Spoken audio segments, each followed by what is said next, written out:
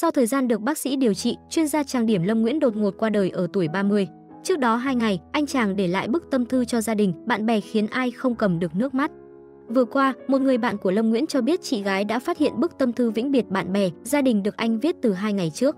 Cụ thể, trước khi rơi vào hôn mê sâu, Lâm Nguyễn biết bản thân khó qua khỏi nên gửi lời cuối đến bố mẹ, bạn bè đã yêu thương và hỗ trợ trong suốt thời gian qua. Nội dung bức thư như sau: Tạm biệt mọi người, Lâm về với Phật trước ạ. Đây là lá thư cảm ơn những người anh chị em, khách hàng, nhãn hàng. Cảm ơn vì mọi người tin tưởng đặt lịch em trong suốt mười mấy năm qua. Cảm ơn anh Isaac, ST, Win và cả anh Jun và cả rất rất nhiều anh chị em, từ người mẫu, diễn viên và cả Kit nữa. Tiếp theo là cảm ơn mẹ và cha, cả nhà đã cho con cuộc sống này, mặc dù con là đứa ương bướng. Cảm ơn tới đây, em xin phép gửi về các bạn hiện tại hoặc quá khứ lời xin lỗi nếu Lâm làm bạn buồn và cảm ơn vì từng là bạn của nhau.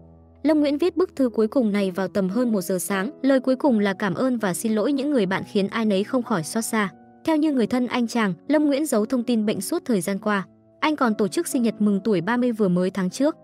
Cách đây ít ngày, Lâm Nguyễn nhập viện điều trị tại bệnh viện Phạm Ngọc Thạch, tình trạng sức khỏe nguy kịch vì đã chuyển sang giai đoạn ung thư phổi, suy thận. Vào tối ngày 8 tháng 5, gia đình cho biết Lâm Nguyễn đã được chuyển vào phòng hồi sức tích cực, anh rơi vào hôn mê sâu.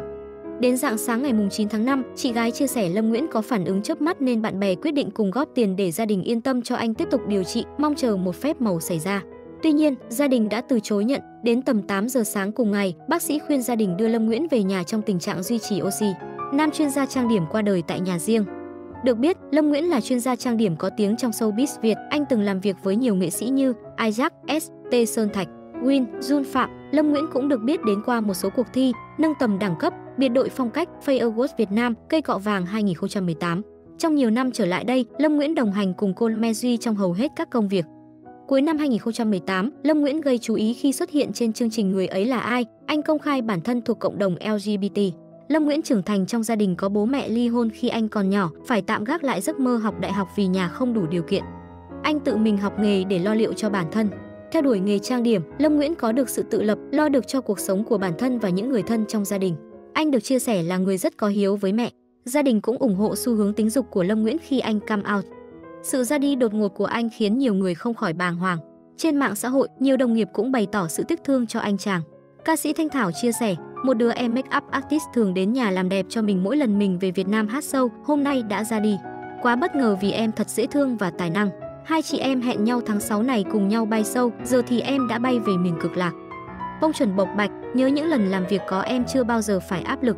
Nhớ mãi một người em chăm chỉ, nỗ lực hết mình và luôn giành giải nhất. Nhớ mãi sự lạc quan và không hề nao núng trước những khó khăn mà em gặp phải, kể cả khi em có bệnh. Em bị té đập đầu, em vẫn nói với mọi người bằng cái cách như thể điều đó chẳng có gì phải bận tâm. Chị sẽ không thể được như em, không thể cười trong mọi hoàn cảnh nên ít nhất lúc này em cho chị được buồn nhiều hơn một tí nhé.